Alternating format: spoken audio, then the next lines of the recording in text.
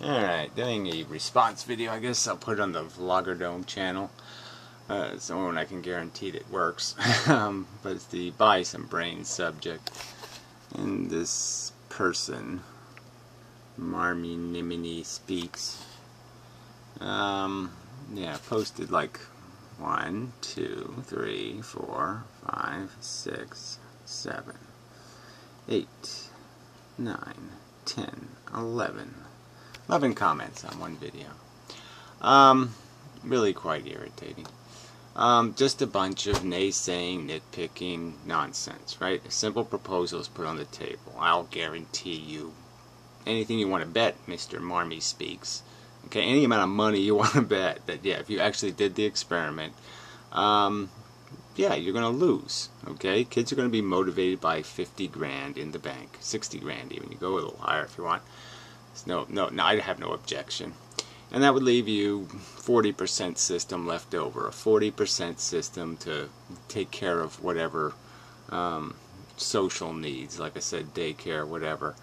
Um, and yeah, the rest would be on the kid to do the acquire the knowledge thing. Get them up to like the fifth grade, get them so they can read and write, and then set them loose on technology to acquire a necessary knowledge base.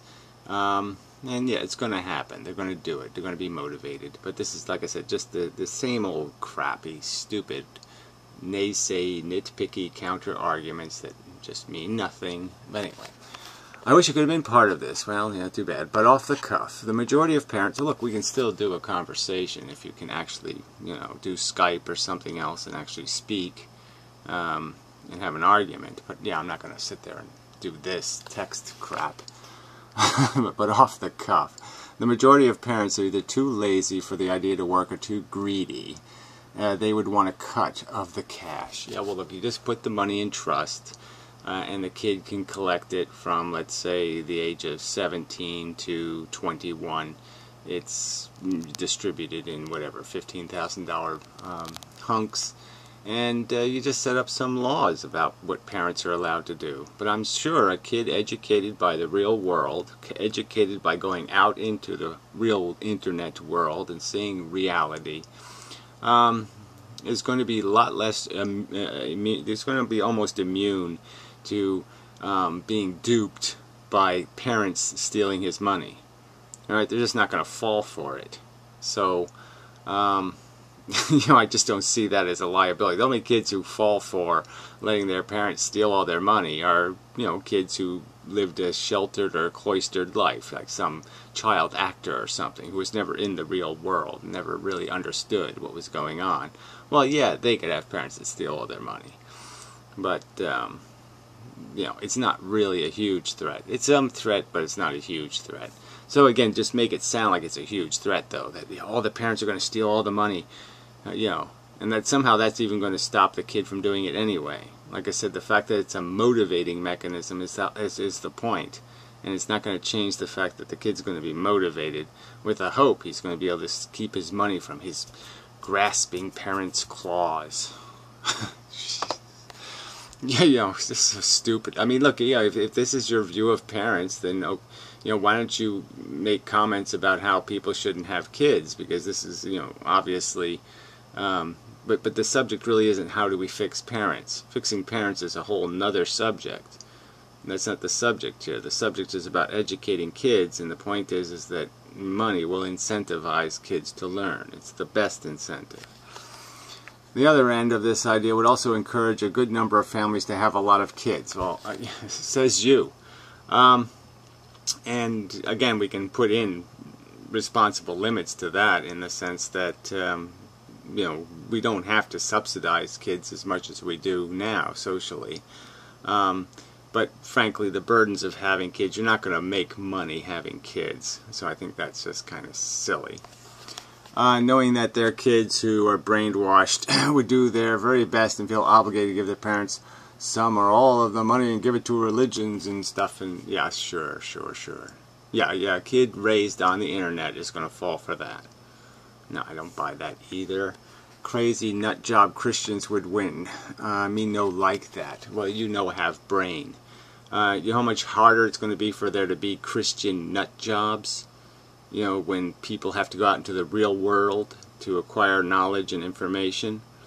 You know, they're, they're not giving it from closed sources. They have open sources. A system set up to fail. When kids fail a few times at, at any test, they won't care about the money. So that's your presumption. You're saying that, oh, I, I I, I can't do the math, so I'm going to give up on the $50,000. yeah, you know, I delivered newspapers for five cents a day, almost. Um, in the snow, in the rain, in the horrible wind, in all the, you know, the worst weather, didn't matter. I trudged and marched for my quarter a day. So don't tell me they're going to give up. Fuck you. Ugh, this has been demonstrated over and over again in all reward systems. Will you show me the reward system? Show me a reward system that has a real prize. Oh, it works as a quick fix, a new bike, a gift card. Well, we already a sleek shoes. Yeah, that yeah, that's exactly what we said we're not doing.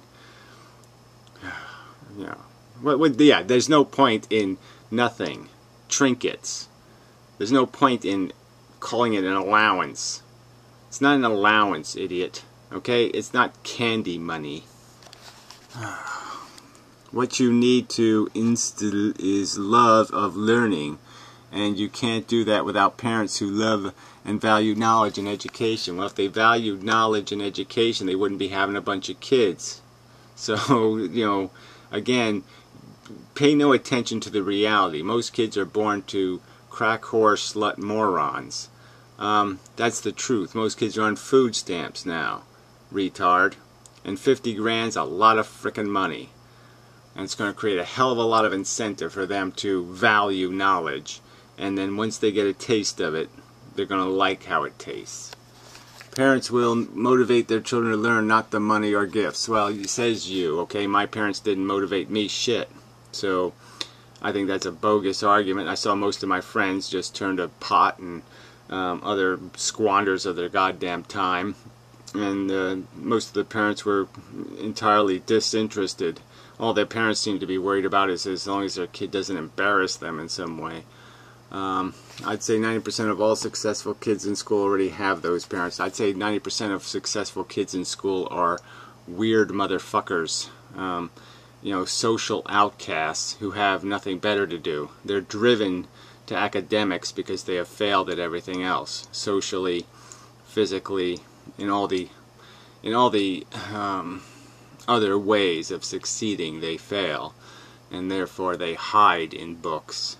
And no we want people to feel proud to do this book thing. And once you put a prize on it then all of a sudden this will be a legitimate sport it'll be a legitimate sport to be intellectual and smart and to acquire knowledge um, and they won't be doing it by default because they failed to do any of the other stuff they wanted to do. They wanted to be cheerleaders and they wanted to be football heroes and they wanted to be all that stuff, but they just couldn't. And that's the truth. Um, it comes down to parents. Well, again, that's not the subject. The subject's an education system we're already shoving $110,000 per kid into.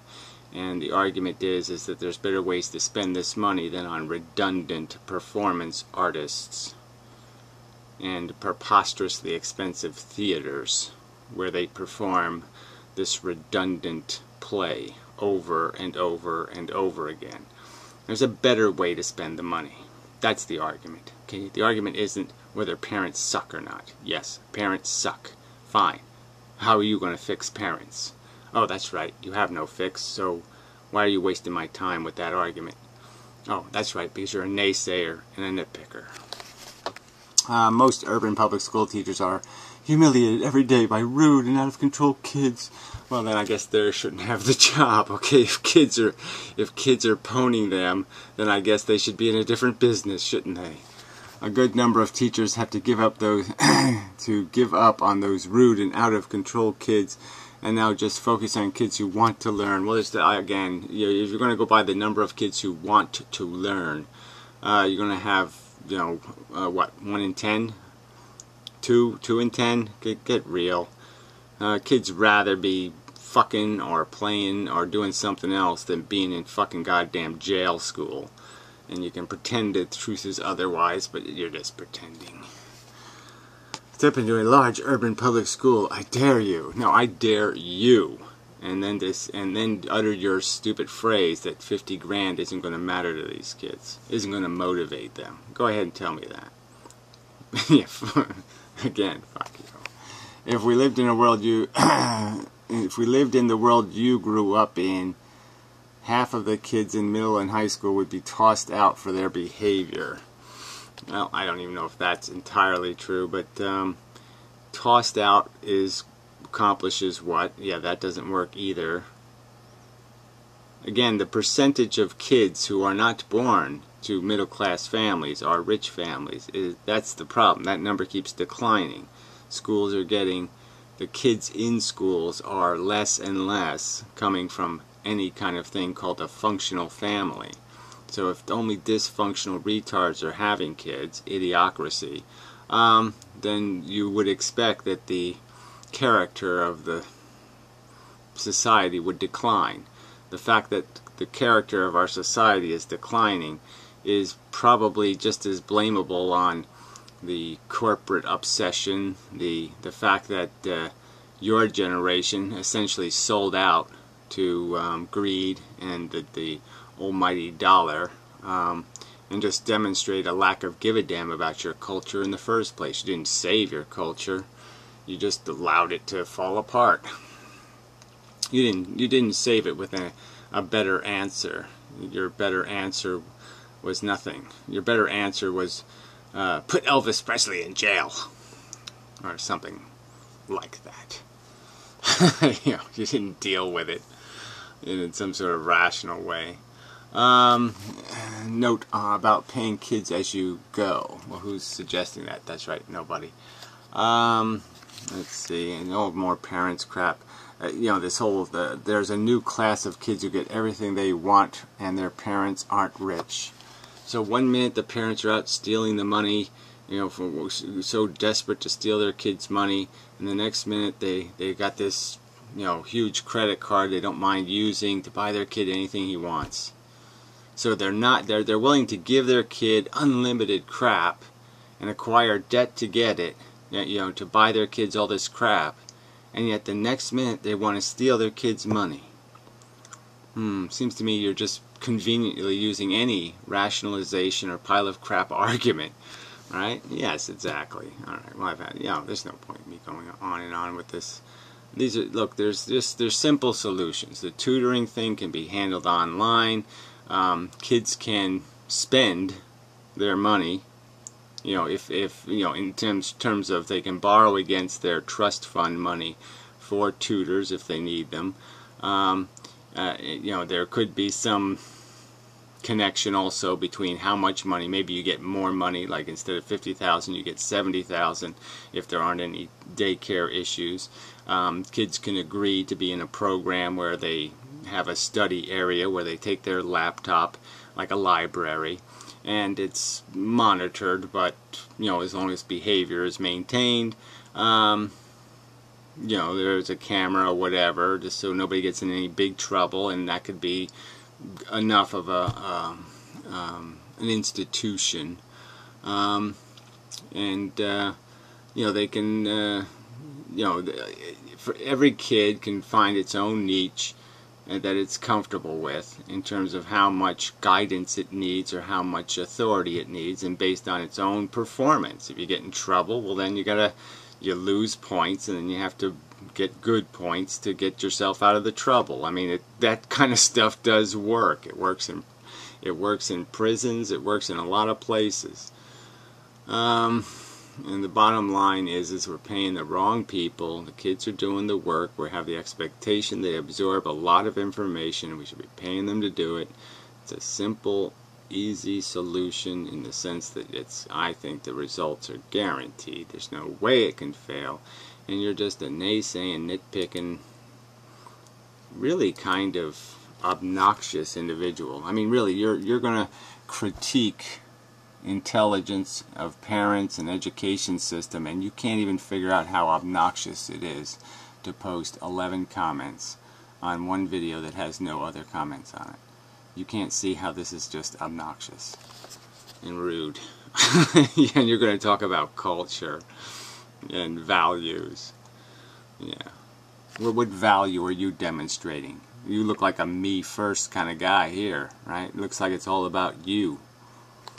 Yeah. So anyway, enough. It's depressing. I, I mean, it's just depressing. This is really, like I said, it just it makes logical sense. We all know we're kind of mercenary at heart. Um, you know, the real thing missing in school is some in hand, some kind of personal. I can see my advantage in playing along. Kids need to see their advantage in playing along. And that money will make them see the advantage. Shit. So anyway. No point in communicating with humans. Too stupid. You are too stupid. Thank you very much.